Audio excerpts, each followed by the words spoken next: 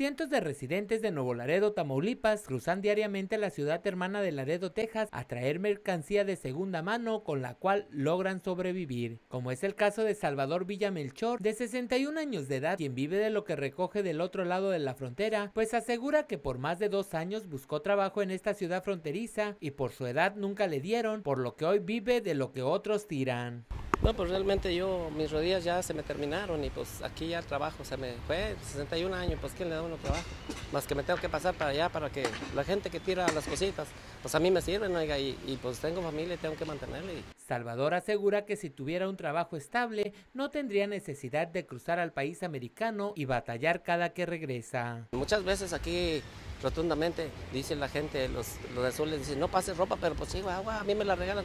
Oye, yo quisiera tener algo para tener un trabajo y no andar pasando para allá, pero pues realmente se me terminó y tengo que pasar a, traer cosas. La situación se le complica aún más a Salvador, pues tiene una hija con capacidades diferentes, la cual depende totalmente de él. Tengo una niña síndrome Down, para que se sepa también.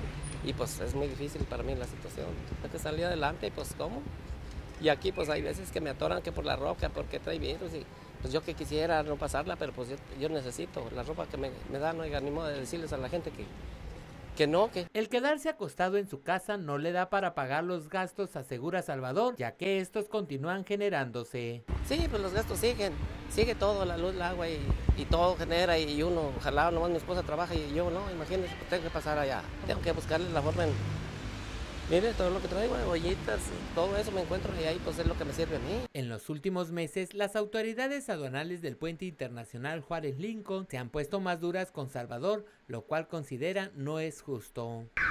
Imagínese, pues sí, agua, yo lamento mucho esto porque pues pasan trocas llenas de cosas y pues a uno lo más fregar lo, más, lo fregan más. Al igual que Salvador, cientos de personas de la tercera edad cruzan al país americano diariamente para traer ropa de segunda mano y venderla en las famosas pulgas, ya que para ellas esta se convierte en la única manera de sobrevivir. Con imágenes de Neftalí Rubio, para RN Noticias, Ismael Rubio.